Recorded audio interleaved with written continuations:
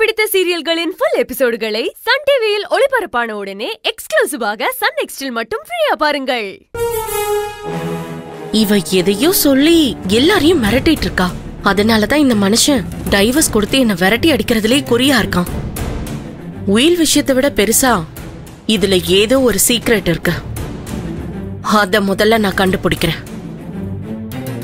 இந்த பிரச்சனைக்கெல்லாம் என்ன முடிவுனே தெரியல. தலையே வெடிச்சிடும் போல இருக்கு. மேடம் இது ஒன்றும் பெரிய பிரச்சனையே இல்ல. இதை தீக்கிறதுக்கு ஒரு ஈஸியான வழி இருக்கு. ஆனா அதுக்கு நீங்க சம்மதிக்கணும். என்ன வழி? நானும் அபியும் முன்னாடி மாதிரி கெஸ்ட் ஹவுஸ்லயே இருந்துக்கிறோம் மேடம் அதான் மேடம் ஒரே வழி. ஈஸ்வரி.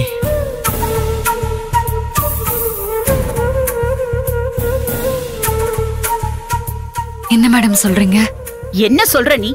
பிரச்சனையை தீக்கிறதுக்கு வழி சொல்லுவேன்னு பார்த்தா இன்னொரு பிரச்சனையை உருவாக்க வழி சொல்ற? அப்படியெல்லாம் இல்ல மேடம்.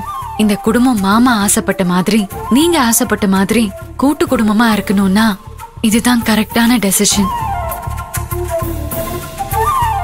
நான் சொல்றத தயவு செஞ்சு கேளுங்க. ஆஹா அதெல்லாம் கேட்க முடியாது. நீ இந்த வீட்டுக்கு விளக்கேத்த வந்தவ உன்னை இந்த வீட்டை விட்டு கெஸ்ட் ஹவுஸ்க்கு விரட்ட சொல்றியா? என்ன யாரும் விரட்டலையே மேடம். நானா விருப்பப்பட்டு போறேன்னு தானே சொல்றேன். நீ சும்மா இரு ஈஸ்வரி. அண்ணி சொல்றதுதான் சரி.